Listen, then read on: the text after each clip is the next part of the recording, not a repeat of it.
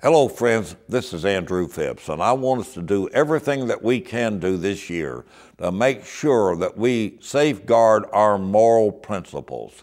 We must not give our consent to same sex marriage, nor should we endorse candidates that want to advocate such preposterous thinking.